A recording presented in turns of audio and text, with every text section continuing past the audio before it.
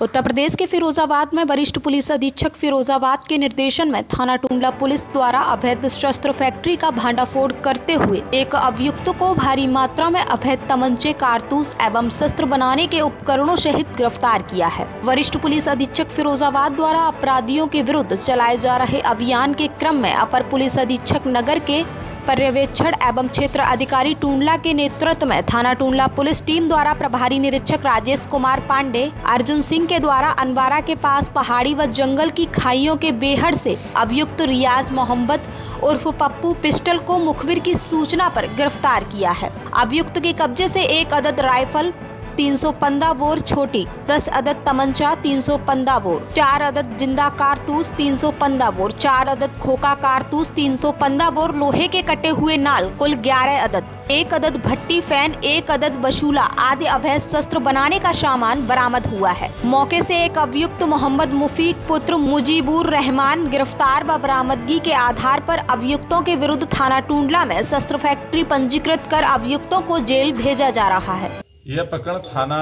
टूंडला से संबंधित है, जहाँ थाना टूंडला की टीम ने सफलता प्राप्त की एक सस फैक्ट्री पकड़ने में, और इसमें रियाज मोहम्मद उर्फ़ पप्पू पिस्टल नामक अभियुक्त पकड़ा गया है। एक अभियुक्त मुकीम नाम का मौके से फरार हो गया है। इनके साथ भारी मात्रा में शस्त्र बनाने के उपकरण बरामद हुए हैं। दस कट्टे बरामद हुए हैं तीन सौ पंद्रह बोर के, और एक अदबनी राइफल बरामद हुई है तीन सौ पंद्रह बोर की। और भारी मात्रा में अन्य उपकरण बरामद हुए हैं। इनको सुसंगत धाराओं के साथ आज पर्याप्त सबूतों के साथ माननीय न्यायालय में प्रेषित किया जा रहा है।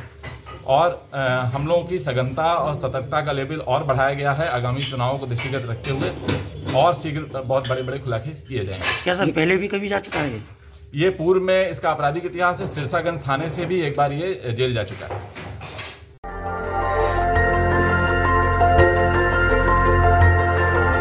देखते रहिए डीबी भारती समाचार नज़र हर खबर पर।